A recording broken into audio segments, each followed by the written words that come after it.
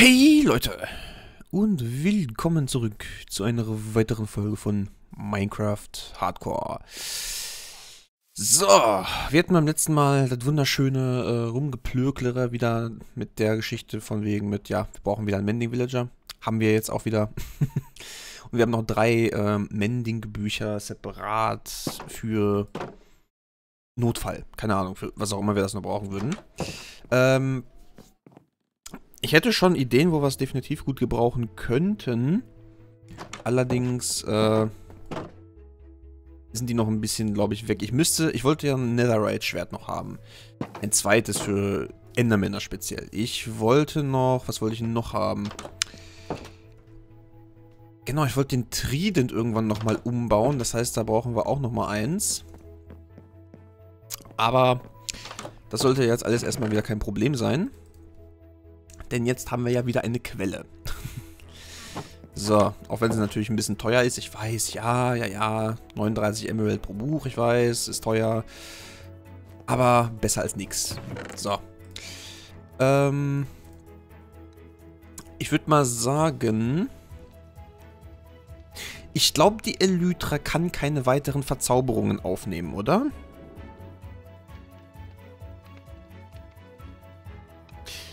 Ist diese Annahme richtig? Ich denke mal ja. so. Ähm. Wir bräuchten so diese Raketen, ne? Wenn wir jetzt mal so einen Testflug wagen wollen. Mit Gunpowder, ich glaube Paper brauchte man. Paper. Ähm. Genau, das sind schon das sind schon Firework Rock Rockets? Duration, Flight Duration 2. Flight Duration 3.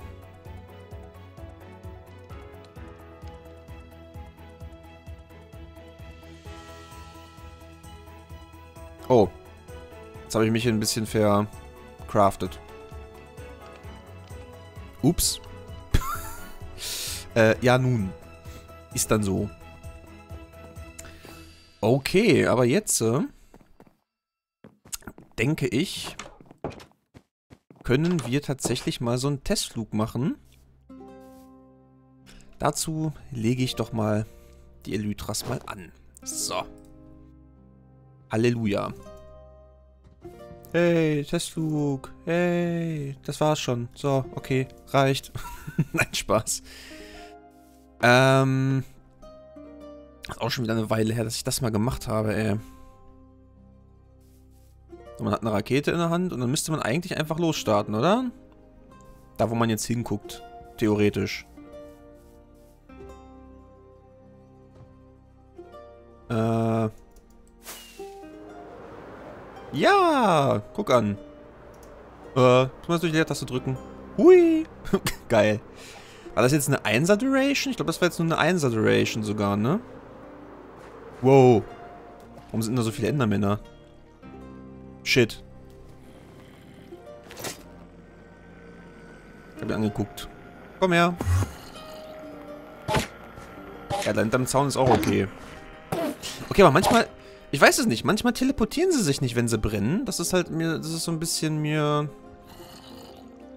Irgendwie nicht geheuer. Keine Ahnung. Manchmal geht das, manchmal geht das nicht. So. Irgendwie komisch, dass man... Konnte man sonst nicht auf Elytras auch Protection draufknallen? Ey, oder bin ich so out of, the, out of the loop? Das war jetzt Flight Duration 1. Was passiert, wenn ich jetzt eine mit Flight Duration 3 nehme? Boostet die mich länger? Ne, tut sie gar nicht. Okay, also Flight Duration 3 boostet nicht. Ich habe irgendwie ein bisschen Angst hier gegen... Kann ich das hier... Ah, okay, ich kann ja so ein bisschen drehen. Alles klar. Passt. Darf nur nicht irgendwie mit voller Wucht irgendwo gegenfliegen. Da müssen wir drauf achten. Aber ansonsten... Hui! Ja, geil. Das heißt, jetzt können wir so theoretisch... Einfach, äh durch die Gegend fliegen und Abenteuer haben. Und wenn wir irgendwie einen ähm, unerwarteten Sturzflug hinlegen, dann, dann, dann, dann, dann können wir uns ganz leicht, dann haben wir so gesehen eine Rettung am Start, dass wir dann einfach, ja, das Totem of Undying haben und uns dann retten können. Lass uns mal auf dem Scheunendach landen, wenn das geht. Ja, das geht. Gucke mal. Hui, wir sind auf dem Scheunendach. So leicht geht das jetzt. okay. Ähm, dann packe ich die erstmal wieder... Oh ne, ich möchte dann hier eben noch kurz mal wieder runterfliegen. Fliegen wir mal nach da hinten. Fliegen wir mal hier hin. So. Bitteschön. Nice, nice. Dann können wir das Ding jetzt benutzen, um einfach mal ein bisschen schneller irgendwie hier durch Stellen der Welt zu kommen. Wir müssen jetzt immer gucken, dass wir es halt zwischendurch immer mal mit Mending reparieren. Ähm, dann machen wir eben... Ich pack mal hier... Die packe ich mal weg. Also es reicht, wenn wir ähm, Firework Rockets haben mit Flug Duration 1. Weil das macht, so wie ich das jetzt wohl gesehen habe, keinen großen Unterschied. Ob es jetzt 3 ist oder ob es jetzt äh, 1 ist. Ähm...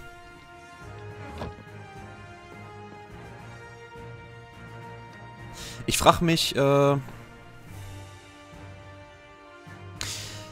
Okay, baustellenmäßig muss ich mal kurz, ich muss mich mal kurz ordnen. Also, was haben wir jetzt baustellenmäßig noch vor? Wir wollen da hin, ganz, ganz hinten ja auf jeden Fall mal anfangen, irgendwann zu bauen. So, wir haben den Mending Villager. Wir müssen eigentlich mal diese Folge wieder zum Graben nutzen unten auch, ne?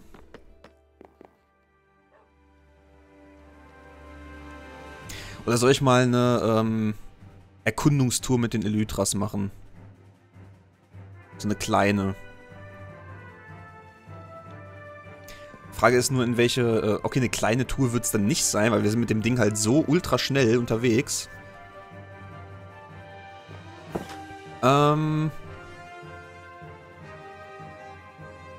Ja gut, und die Elytra können wir dann theoretisch immer in, im Village reparieren. Ich hoffe, dass wir nicht so dumm sind, dass uns die Elytra irgendwann in, äh, inmitten irgendeinem Flug dann einfach, ähm, ja, abhaut. Schön sehe ich aus. Vor allem, das Geile ist, die Elytra nimmt ja äh, die Texturen von Minecraft Capes. Das heißt, das ist eigentlich, das sieht extra fancy aus bei mir. Loop? Mal so kann man Thumbnail machen.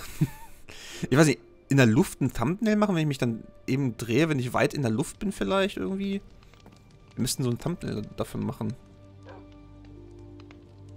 Mal gucken, wie, man das, wie wir das machen, ohne dass wir irgendwie äh, uns doof anstellen und dann sterben. ähm, ich nehme mal... Ja, ich nehme einfach mal hier die alle Raketen mal mit hier. Oder die meisten. Ich meine, wir haben diese eh dabei mit den Inner Chests. Wir haben noch die drei Schulkerboxen dabei. Eigentlich, äh... Wisst ihr, was wir machen? Ich weiß, was wir machen. Wir gehen jetzt erstmal noch nicht buddeln. Ich werde jetzt... Ähm...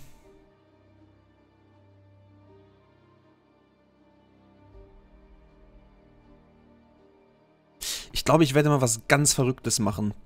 Ich werde jetzt mal mir die Emeralds schnappen. Und ähm, wir brauchen mal hier fünf Schulkerboxen. Insgesamt. So. Ähm, wo wir sechs? Nehmen wir, nehmen, wir, nehmen wir mal sechs mit. Und wir machen jetzt mal folgendes. Ich gehe kurz schlafen. Ich habe die Emeralds dabei. Und ich werde etwas tun. Wir werden unten nochmal ein bisschen Zeug da lassen. Weil ich möchte nämlich ein freies Inventar haben. Wir werden jetzt nämlich mal richtig viel Sand holen. Denn ich möchte jetzt die äh, Honigfarm mal soweit erstmal automatisieren. Wir müssen sowieso nochmal gucken, dass wir da ähm, eventuell ein bisschen was ändern. Weil, wie gesagt, da ist ja noch diese eine, dieses eine Problem, was wir nicht gelöst haben bis jetzt. Das ist da noch präsent. Ich müsste jetzt nur allerdings mal wissen... Die Bücher lasse ich mal hier oben. Die lasse ich mal hier. Diese zwei Sweetberries, die können weg. Den Amboss, den stelle ich wieder hin. Ähm, genau, die Tür. Wir müssen unten noch das Zeug da fertig bauen. Goldstairs kann ich mal hier lassen. Die Zäune... pack das alles mal schon mal hin hier. Also wir brauchen zwei Cobblestone für das Reparieren da. Packen wir die hier rein. Die Fackeln können wir dabei lassen. So, und mein Plan ist jetzt, ich will das einfach mal, ich will das einfach mal probieren. Weil ich möchte jetzt mal die, ähm... Ich muss das mal kurz im Kopf rechnen. Also wir haben ja Unbreaking 3. Ich denke mal nicht, dass wir fünf Schulterboxen mit äh, der einen... Müssen wir hier mal so ein Starlink-Pad nochmal klar machen, ne? Dass wir die äh, Schulterbox mit einem äh, hier, Sache mal schnell. Sache mal schnell. Die Schulterboxen mit der einen Schaufel vollkriegen, weil wir brauchen nämlich theoretisch XP auf dem Weg. Versteht er. Ähm, und wenn ich jetzt einfach mal hier diese XP-Flaschen kaufe tatsächlich, dann haben wir so gesehen ein bisschen äh, Schaufel-Repair dabei. Und können dann während wir unterwegs sind, die Schaufel da, in der Wüste, dann auch reparieren. So, ich muss natürlich in der Hand halten. Das, das wäre clever. So. Schaufeln wir uns tatsächlich mal mit diesen Enchanting Bottles hier zu. So. Bitteschön. Die letzten zwei Emeralds, die können erstmal hier rein. So, und jetzt, wenn ich die halt auf den Boden schmeiße, ich müsste dann die äh, Schaufel hier in diese Secondary legen. Und so kann ich dann die Schaufel reparieren. Während ich am Machen bin von Dingen. so. Okay, dann brauchen wir jetzt erstmal die Rockets. Ich meine, die Wüsten, die waren ja äh, Richtung dahin, ne? Die müssten in die Richtung gewesen sein. Dann kann man sie richtig mal boosten mit den Rockets. Müsste so ein bisschen mal auch die, äh...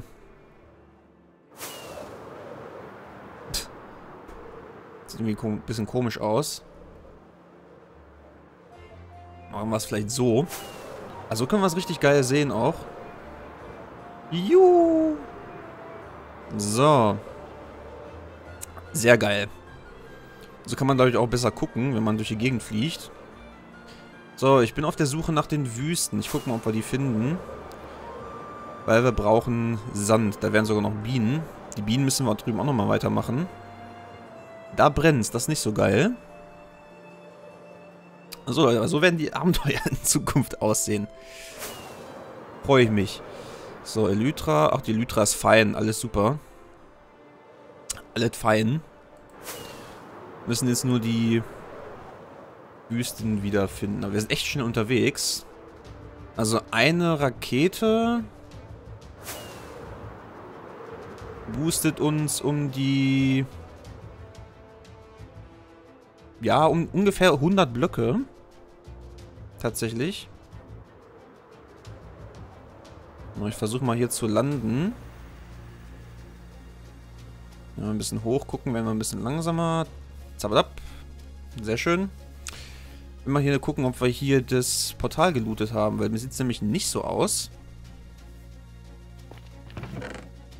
Ne, tatsächlich nicht. Was haben wir hier für Verzauberungen? Hier haben wir sogar Mending-Verzauberungen. Fire Charge. Den Rest brauchen wir nicht. Den Goldblock würde ich schon gerne haben. Vielen Dank. Äh, hier war doch bestimmt irgendwo... Hier ist doch sonst auch mal noch ein anderer Goldblock, glaube ich. Aber ich glaube hier... Ne, hier war nur einer diesmal. Dann lassen wir es erstmal bei dem einen. So, hier war wieder Dschungel. Ich weiß ehrlich gesagt gerade gar nicht, wo... Äh hier laufen Kühe. Waren wir hier ursprünglich schon mal? Weiß es gar nicht mehr so genau. Hier war ein großer Bambuswald. Das wissen wir auf jeden Fall jetzt. Uiuiui, was ist denn das? Boah. Heilige Scheiße.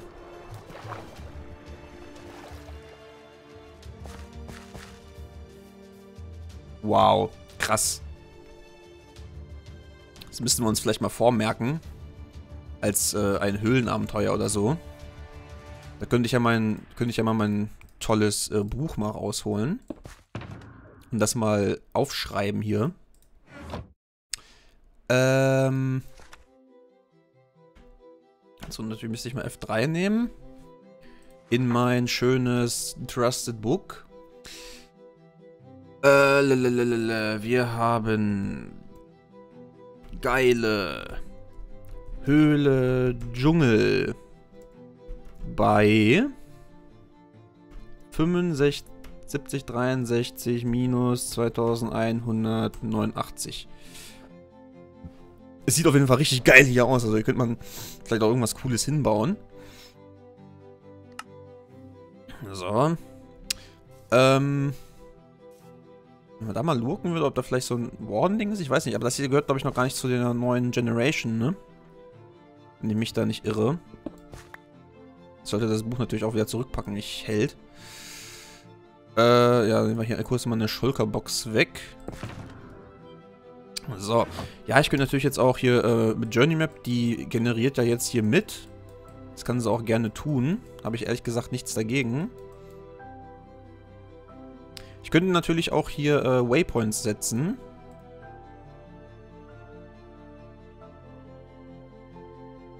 Nö, könnte ich nicht, weil das Spiel dann abstürzt. äh, ja, geil. Ein Moment, Leute, wir sehen uns gleich wieder. so. Äh, okay, warum genau durfte ich jetzt keinen Waypoint setzen? Kann ich nicht an äh, Player Position Waypoint setzen? Waypoints. Neu. Höhle.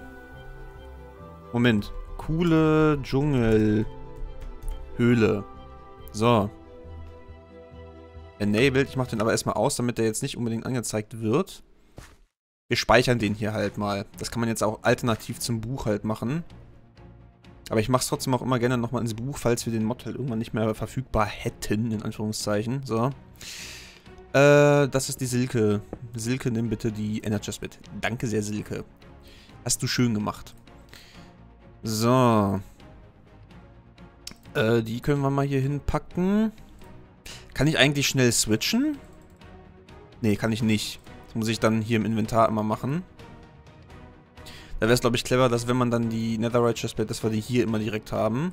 Falls wir mal schnell wechseln müssen. Für irgendeinen, weiß ich nicht, blöden Notfall. Kann ja immer mal passieren. So. Dann schauen wir mal weiter. Irgendwo hier musste es ja Richtung Wüste gehen. Und wenn wir jetzt so unsere Erkundung, Erkundungstouren machen, müssen wir auf jeden Fall in Zukunft gucken, dass wir ähm, tatsächlich mal die... Hier sind auch noch neue Sachen, okay. Dass wir mal, ähm, hier, sag mal, sagt mal bitte für mich hier schnell, dass wir, ähm,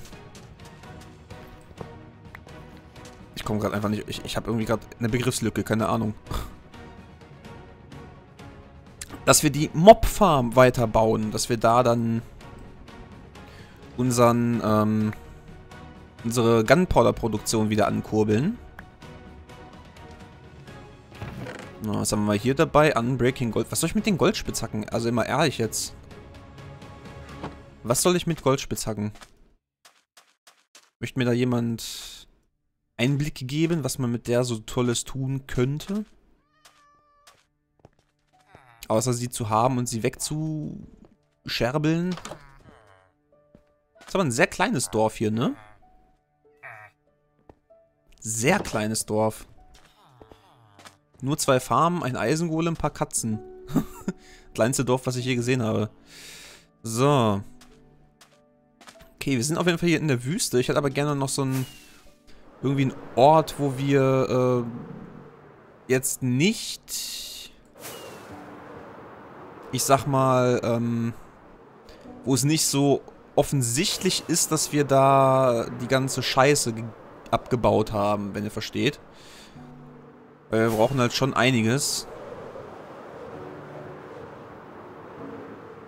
Irgendwo wird es dann ja wohl sein müssen, leider. Wo wir uns dann hier mal hinstellen und mal die ganzen, den ganzen Sand mal klar graben hier. Das Blöde ist, ich glaube, man kann so auf passive Art und Weise Sand nicht generieren. Das heißt, man kann es auch nicht reparieren, wenn es dann einmal so richtig durchgewringelt ist, wenn er versteht. Ich würde, glaube ich, gleich gerne nochmal schlafen gehen vorher. So, und jetzt rasen wir mal hier durch wie Verrückte. Ähm, ich würde ganz gerne mal eine Schulka, die werde ich mal lassen. Die könnten wir vielleicht nochmal gebrauchen. Ender-Chests bleiben drin, die kann weg, die kann weg, das kann weg, das, das, das, das, das. Ja, eigentlich kann der Sand auch erstmal weg, das brauchen wir gerade nicht. Die bräuchten wir schon. Hm. Ja, den Rest bräuchten wir. Während wir hier am Rumbuddeln sind, ziehe ich natürlich die Netherite Chestplate wieder an. Dass falls hier irgendwie Monster dann gleich unterwegs sind, dann wissen wir Bescheid. So, ich würde dann hier ganz gerne auch schon mal die äh, Schulkerboxen mal alle aufstellen. Dass wir hier dann Lagerplatz für den ganzen Sand haben, den wir jetzt holen. Und dann machen wir hier jetzt mal ein bisschen Rambo. Ich versuche irgendwie ein bisschen darauf zu achten, dass wir hier nicht äh, die Wüste zu verscherbelt zurücklassen. Vielleicht baue ich dann irgendwie nochmal, ähm, irgendwann mal, wenn ich da Lust drauf habe, nochmal irgendwie eine kleine Schicht oben drauf, dass es dann so aussieht, als wäre die Wüste noch intakt gewesen. Nach unserem, äh, hier, nach unserem schönen Grabvorhaben. Und dann gucken wir mal, wie viel... Also ich würde die Schulka-Boxen, denke ich, schon gerne voll machen. Dann haben wir halt eine richtige... Einmal drüben bei uns in, der, in dem Haus da gleich auf jeden Fall mal einen richtig fetten Schmelzauftrag vor uns. Das meiste hiervon wird dann, denke ich mal, direkt zu Glas verarbeitet. Vielleicht nehme ich auch noch mal ein bisschen Sandstein mit für später irgendwelche Gebäude, die wir vielleicht noch errichten. Achso, ich sollte äh, schlafen gehen, stimmt. Ich vergaß. so. Wir uns mal eben sterben. Jetzt wäre es eigentlich ganz geil, wenn wir, äh, wenn hier ein paar Creeper spawnen, dann können wir die nämlich, äh... Uh, ich gehe mal schlafen, glaube ich. Ich gehe mal schlafen, ne? So Leute, ich würde mal sagen, für die Folge ist schon mal Feierabend. Ich werde dann in der nächsten Folge hier mit dem Sand mal durchstarten. Dann machen wir hier vielleicht noch mal eine kleine Timelapse rein. Und dann würde ich mal sagen, sehen wir uns in der nächsten Folge wieder. Und bis zum nächsten Mal. Und ciao.